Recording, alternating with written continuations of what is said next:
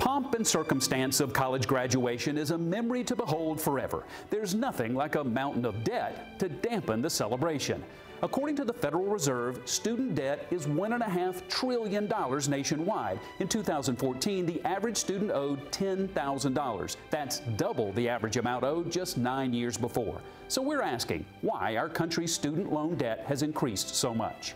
Nationwide, the cost of a college education has been rising, and according to one expert on the topic, federal and state grants to offset the costs haven't kept pace.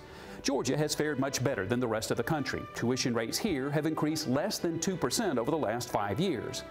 The median household income in the United States hasn't changed much since the year 2000. According to Mark Kantrowitz of SavingForCollege.com, many families are not saving for college, and many of those who do aren't saving enough. Less than 20% of U.S. families with children under 18 have invested in a 529 plan, which is a state-sponsored savings plan where earnings spent on education are tax-free. According to Kantrowitz, more than a quarter of the nation's college students graduate with excessive debt much of that coming from student loans. According to the Georgia Board of Regents, many students borrow more than they need and are unaware of what it will take to repay their loans. Because of that, the system has launched a program called Know More, Borrow Less.